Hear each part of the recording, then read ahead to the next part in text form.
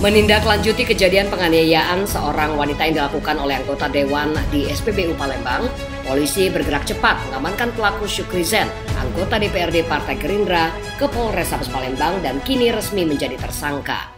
Malam dijemput di rumah, Pak. Sorry. Sorry di rumah, Pak. Malam di kerja Pelaku curanmor di Palembang, Sumatera Selatan terekam kamera CCTV.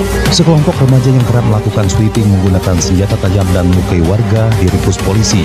Dari tangan pelaku, petugas menyita senjata tajam jenis celurit. Aksi premanisme yang dilakukan beberapa oknum debt collector semakin meresahkan masyarakat Palembang akhir-akhir ini. Inilah pelaku Sukri Zen, anggota DPRD Kota Palembang dari Partai Gerindra yang videonya sempat viral terkait penganiayaan seorang wanita di SPBU Jalan Demang Lebar Daun Palembang. Pada Rabu malam 24 Agustus, petugas Satuan Reskrim Polrestabes Palembang melakukan penangkapan terhadap pelaku. Dengan menggunakan topi, kacamata, dan masker, anggota dewan yang merupakan politisi senior ini tidak banyak menjelaskan. Dirinya hanya menyampaikan, silakan awak media dapat menyanyikan langsung ke partai. Malam dijemput ya Pak ya?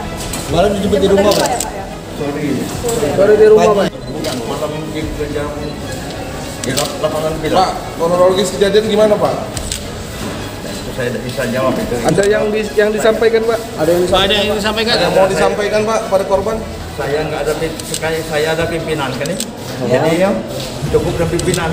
Pimpinan saya Al Faruq, sekretarisnya Taufik. Itu saja. Terima kasih. pertemuan dengan korban, Pak. Sudah, sudah, sudah. Tentang apa, Pak?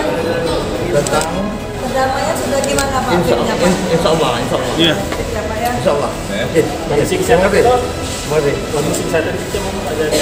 Gimana? Tidak, lumayan. Ya, Pak. ya. Terima kasih ya.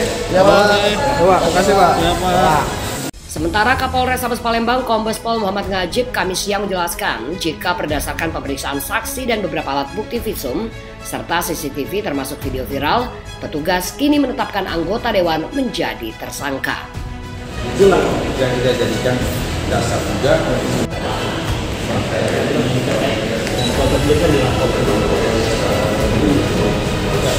Sementara ini memang ada dari hasil uh, penyelidikan dan penyelidikan kami dan juga tentunya berdasarkan keterangan dari uh, saksi.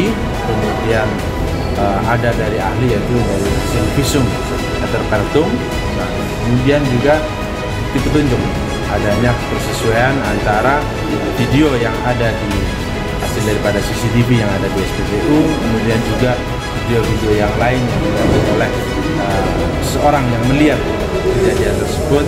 Kita sinkronkan dengan keterangan daripada saksi inilah menjadi bukti petunjuk sehingga kita melakukan upaya paksa kita telah melakukan penangkapan terhadap seseorang dan inisial MZ ya, untuk kita lakukan uh, langkah atau tindak lanjut sesuai dengan aturan yang berlaku. Bang statusnya gimana Bang? Sudah untuk tersangka uh, tadi malam kita lakukan penangkapan terhadap yang bersangkutan. Nah, kemudian saat ini sudah dalam proses pemeriksaan terhadap tersangka. Kapolres Tabes juga membenarkan jika saat ini masih melakukan pemeriksaan terhadap tersangka untuk penerapan pasal yakni 351 KUHP tentang penganiayaan. Sebelumnya, video anggota Dewan Aniaya Wanita viral di media sosial hingga diketahui jika kejadian tersebut terjadi pada 5 Agustus 2022 lalu. Akibat penganiayaan itu, korban Juwita alias Tata mengalami luka dan langsung melaporkan ke Polsek Ilir Barat 1. Namun sekarang berkasnya telah diambil alih oleh Polres Palembang. Dari Palembang, Sumatera Selatan, reporter Jane Kameramen Apriansyah, PBTV, mengabarkan.